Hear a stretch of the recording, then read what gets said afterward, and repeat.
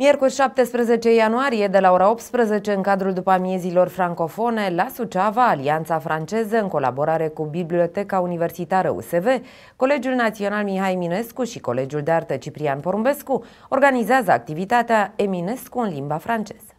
Programul acestei activități dedicate zilei de naștere a poetului național Mihai Minescu va cuprinde o expoziție de carte în limba franceză, prezentată de bibliotecar Despina Rotaru, de la Biblioteca USV. O prezentare realizată de lector universitar dr. Gina Puică, de la Facultatea de Litere și Științe ale Comunicării. Un recital de poezie susținut de elevii Colegiului Național Mihai Minescu, coordonați de profesoara Cristina Hetriuc, precum și un moment muzical propus de elevi ai Colegiului de Arte Ciprian Porumbescu, coordonați de profesoara Petronela Munteanu. Activitatea își propune să prezinte atât traduceri în limba franceză ale unor poeme foarte cunoscute, precum Cetele Ginii la Steaua, Floarea Albastră sau Sara pe deal, cât și traducători și traduceri cu care publicul român este mai puțin familiarizat, oferind astfel participanților aspecte inedite referitoare la opera tradusă în limba franceză a lui Eminescu. Momentele muzicale